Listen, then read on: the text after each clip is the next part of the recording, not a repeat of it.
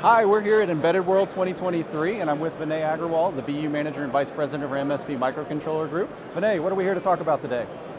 Thank you, Stephen. It's, a, it's an exciting day for us. Uh, today we are launching a new family of uh, microcontrollers based on ARM Cortex-M0 Plus. Really three key uh, areas to focus on with this family. It's a scalable portfolio that offers uh, customers a wide range of uh, memory options, package options, peripheral options that they can choose for their designs. We also, along with the hardware, we also offer a lot of software and tools that makes it easy to use to design in with these microcontrollers.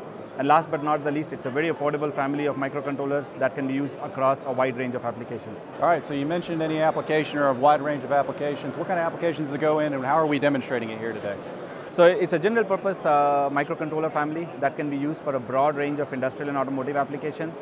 In, in the embedded world here, we have demonstrated few uh, applications here, ranging from uh, medical, we have uh, two demonstrations for pulse ox and blood, glu uh, blood glucose monitoring. We also have a, a, smoke detector application. We have some automotive applications, power metering, and on the uh, battery pack, we have some battery solutions and also a motor control based applications.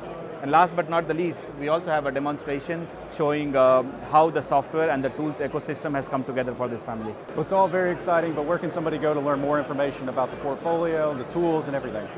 So all of this information along with the devices and software and tools is available on ti.com slash mspm0.